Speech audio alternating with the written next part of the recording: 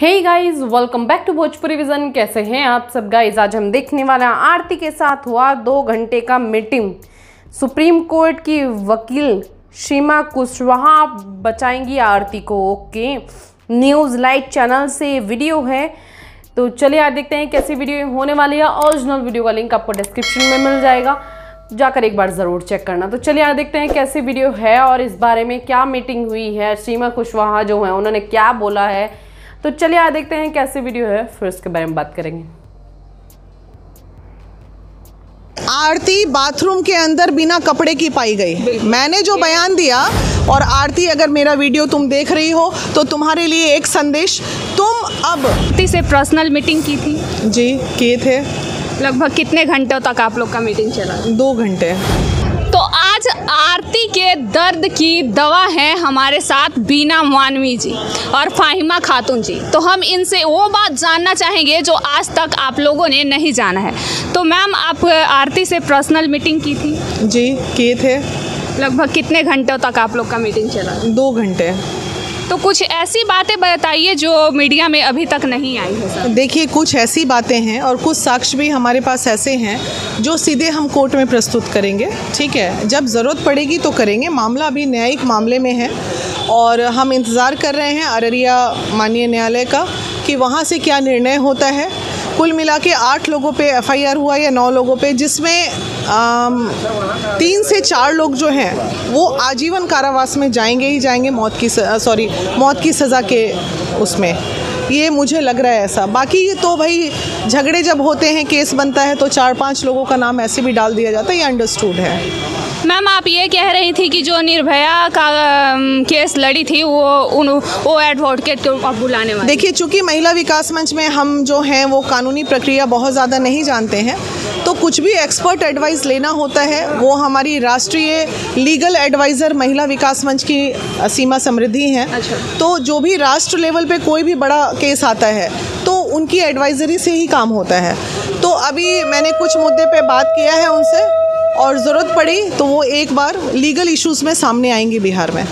अच्छा मैम क्या अभी तो आरती का स्टेटमेंट काफ़ी पूरी तरीके से बदल गया है। जो मतलब पहले बोल रही थी वो अब नहीं बोल रही है और जो अब बोल रही है वो पहले नहीं बोल रही थी। तो अब उसका कहना है कि भाभी ने बुलाई थी लेकिन पहले कहती थी कि हम बुलाए थे। देखिए बुलाया तो कहीं ना कहीं मोहब्बत का मामला तो आरती का ही है। ये हमारा भी अनुभव कहता है कि आरती नहीं, रात वाला जो सीन है, वो आरती का ही सीन है। और भाभी, उसमें ये राजदार हो सकती है कि ठीक है, तुम बुला लो, कोई बात नहीं, हम हैं, संभाल लेंगे। एक साइकोलॉजिकल आपके सामने एक्सेप्ट की आरती की हमने हम बुलाए थे छोटू को? ये बात हम मीडिया में नहीं बोल सकते हैं, उसने किया या नहीं किया, लेकिन मोहब्बत आरती ने की थी, उनकी भाभी ने नहीं की थी, ये बात सत्य है। और ऑब्वियसली से ऑब्वियसली से बात है कि अगर आरती सॉरी भाभी अगर छोटू को बुलाती तो छोटू के साथ भाभी होती, आरती नहीं होती। आपका क्या कहना है? हमारा कहना है कि कहीं ना कहीं अगर भाभी बुलाती तो रूम में या बाथरूम में या कहीं प्लेस पे पकड़ाती तो भाभी पकड़ाती आरती नहीं पकड़ाती। और नहीं आरती आरती नाबालिग है ना छोटू नाबालिग था। तो सज़ा दोनों को बराबर होना होनी चाहिए। आरती अपने मुद्दे से भटक रही है। आरती अगर आरती थोड़ा सा भी प्यार करती है छोटू से तो आरती को एक बात बोलना चाहिए। आरती कहीं ना कहीं लोग हो सकता है मीडिया हम लोग के भी सवाल करता तो कभी कभी कभी स्लिप कर जाते हैं। तो आरती कहीं मैम हम एक चीज़ क्लियर करना चाहेंगे कि जो सच होता है वो कितना भी डर में घबराता नहीं है इंसान। जो सच होता है वो सच ही बोलता है लेकिन आरती से जब भी क्वेश्चन पूछा जा रहा है वो स्लिप हो जा रही है स्लिप कर जा रही है। देखिए ये बात सच है कि आरती एंड छोटू मिले थे। रात को दोनों ने मुलाकात की थी। लेकिन बात जब कानूनन होगी तो ये भी बात सच है दोनों बालिग थे दोनों एक दूसरे से मोहब्बत करते थे। मिलना कहीं से गुनाह नहीं था। मामला जो है कानूनी प्रक्रिया में है। तो माननीय न्यायालय का ही ये वर्डिक्ट आया था सुप्रीम कोर्ट का। कोई भी 18 साल के ऊपर का लड़का या लड़की अपनी मर्ज़ी से किसी के भी साथ मिल सकता है रह सकता है सो सकता है नाच सकता है गा सकता है। अच्छा मैम प्रशासन से इस बारे में आप लोगों का क्या बात है मुद्दे से भटक रहे हैं। प्रशासन जो है ना मुद्दे से भटका रहे हैं। प्रशासन को जाँच करनी चाहिए गिरफ्तारी करनी चाहिए। प्रशासन को इस पर एक्शन लेने चाहिए। चाहिए बाकी ये बात मुद्दे से भटका रहे हैं। प्रशासन जो है कभी मीडिया, कभी आरती का बयान, ये सब नहीं। वो तो बात की बात है ना। प्रशासन को पहले है कि जितने लोग नामजद हैं, उनको गिरफ़्तार होने चाहिए। और उसके बाद वहाँ पे फिर जो होगा, कोर्ट न्यायालय पे हम लोग भी भरोसा करते हैं। मैम, आप लोग महिला होने के नाते आरती का क्या सपोर्ट करते हैं? महिला विका महिला तो मैं ज़रूर हूँ लेकिन मैं अभी आपके पास महिला विकास मंच प्लेटफॉर्म पे खड़ी हूँ। महिला विकास मंच चाहे महिला हो या पुरुष। जो गलत है उसको सज़ा मिलनी चाहिए। आपके नज़र में अभी आरती सही लग रही है? मेरे नज़र में तो मोहब्बत तो दोनों ने किया था। तो पीड़ा दोनों को मिलनी चाहिए थी। मारता उसका परिवार अगर तो आरती को भी सेम सज़ा मिलनी चाहिए थी। दूसरे के बेटे को मार दिया अपनी बेटी को छोड़ दिया ये कहीं ना कहीं अपराध है घिनौना। लेकिन फिर ये ये भी गलत है कि मैं इस तरह की बात मीडिया में बोलूँ। लेकिन ये आक्रोश है इंडिविजुअल कि तुम दूसरे का बेटा था तो मार दिया अपनी बेटी ने बुलाया तो छोड़ मैम हम आपका एक इंटरव्यू देखे थे जिसमें आप ये कह रही हैं कि मीडिया कर्मी आरती का इज़्ज़त उछाल रहे हैं। हाँ। तो आपसे एक बात पूछना चाहेंगे मैम कि अगर आरती के पास मीडिया नहीं जाती तो क्या वो दुनिया भर के लोग आरती के किस्से को जान पाते आरती और छोटू? आप आई मेरे पास। आप अगर ये बाइट मेरे से लेंगी कि आरती बाथरूम के अंदर बिना कपड़े की पाई गई। मैंने जो बयान दिया वो उसके आगे वाली लाइन ये थी कि बिना कपड़े की पाई गई। अरे मैं बिना कपड़े की हूँ बाथरूम में या कपड़े में हूँ ये मीडिया कर्मी का ये काम है क्या? यही बोलना काम है। तो जो मैंने मेरा आक्रोश है मी- उन मीडिया कर्मियों को जो उसकी बाथरूम वाली स्टोरी चला एक और क्वेश्चन मेरे दिमाग में कब से खटक रहा है कि आप कह रही हैं कि मीडिया टीआरपी खा रही है आरती छोटू के नाम पे तो उसमें से कुछ पैसे आरती को भी डोनेट करने चाहिए तो क्यों आरती को किस मामले में डोनेट करने चाहिए इस आरती केस लड़ने के लिए डोनेट कर गरीब महिला है अच्छा। उसका परिवार गरीब है आरती के माता पिता को सॉरी सो कॉल्ड सास ससुर को छोटू के माता पिता को हेल्प कीजिए। जाइए उनके माता पिता को लेके कहीं पैसे की वजह से कोई मामला तो नहीं अटक रहा है न्यायालय में।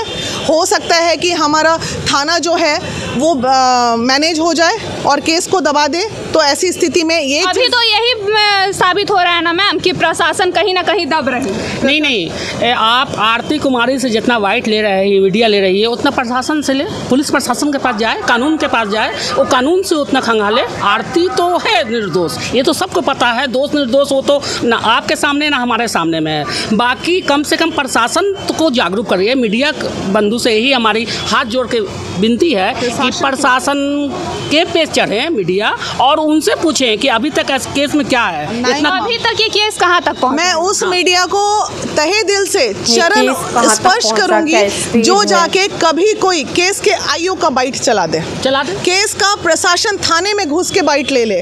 हमारे वहाँ के एसएसपी पूर्णिया और उसके बाद तमाम लोगों का बाइट ले ले।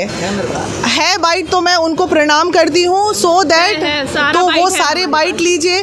उन्होंने कहा है था हम लोग संजीत प्रशासन का भी बाइट लिए। थे लिए थे तो चला भी होगा। तो उन्होंने ये भी कहा होगा कि दस दिन में अरेस्टिंग हो जाएगी। तो तो कुछ लोगों की हुई कुछ लोग नहीं हुए हैं। मामला अब न्यायिक है। न्यायिक मामले में दांव पेच खेल चलेगा। जब लड़ाई होती है लंबी। अच्छा एक बात बताइए यहाँ जो रियल रेप होता है रेपिस तो बिहार में बाहर घूम रहा है। बिल्कुल, बिल्कुल। और आपको क्या लगता है ये ये मामला यहाँ पे सज़ा इतनी आसानी से मिल जाएगा? बहुत टाइम लगेगा बहुत वक्त लगेगा। और आरती अगर मेरा वीडियो तुम देख रही हो तो तुम्हारे लिए एक संदेश तुम अब किसी भी मीडिया को कोई बाइट नहीं दो। क्योंकि लड़ाई तुमको अब वक्त आ गया है कानून का और तमाम मीडिया कर्मी को धन्यवाद देगी आरती कि जहाँ तक उन्हें पहुंचाना था आरती को न्यायालय तक मीडिया कर्मी ने पहुँचा दिया है। अब आगे का मामला कानूनन है और अब मीडिया को कानूनी प्रक्रिया पे ध्यान देनी चाहिए ना कि आरती के घर पे धरना देना चाहिए। थैंक यू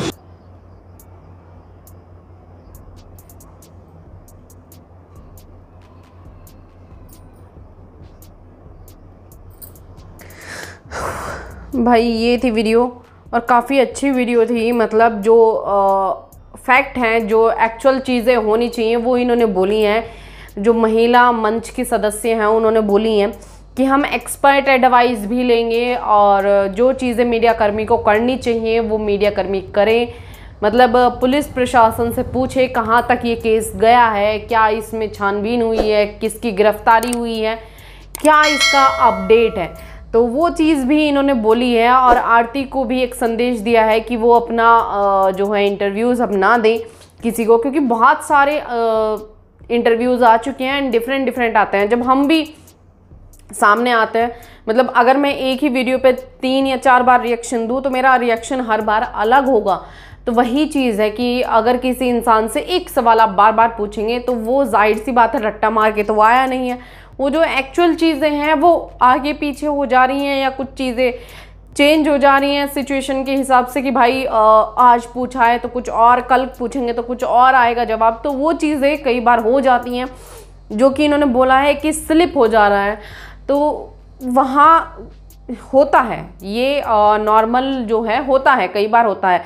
और मीडिया कर्मी मतलब जो है पोस्टर लगा रहे हैं कि आरती को बाथरूम में बिना कपड़ों के पाया गया या कुछ भी एक्स वाई जेड भाई वो अलग चीज़ें हैं वो चीज़ें अलग हैं किसी की पर्सनल लाइफ पे आप पैसा बटोर रहे हो तो उसका कहीं ना कहीं कुछ ना कुछ ऐसा मत दिखाइए जो उसकी आ, भावनाओं को आहत करे मतलब भावनाओं को हर्ट करे। तो थोड़ा सा उस चीज़ को रखिए कि ये चीज़ें न्याय न्यायालय में जब जाते हैं, तब ये चीज़ें पेश होती हैं।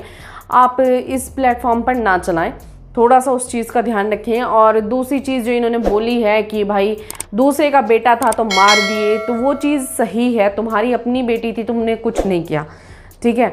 वो बुलाई या नहीं बुलाई, भाभी बुलाई, पर अगर वो पकड़ी गई थी देन आपने दूसरे के बेटे को जान से मार दिया और अपनी बेटी आपकी सही सलामत है। मैं ये नहीं कहना चाह रही हूँ कि आरती को भी जान से मार देते बट कहीं ना कहीं गलत तो किया। अगर तुमने उसको मारा है तो ज़िंदा तो रहने देते।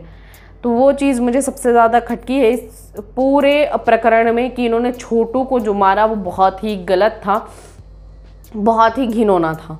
ठीक है? तो यार आई होप आप सबको वीडियो अच्छी लगी हो। अगर रिएक्शन अच्छा लगा हो तो लाइक और शेयर ज़रूर करना। और आप लोगों का इस बारे में क्या कमेंट है, वो भी आप मुझे कमेंट सेक्शन में ज़रूर बताना। ठीक है? मैं मिलूँगी आपसे अनदर वीडियो में। तब तक के लिए बाय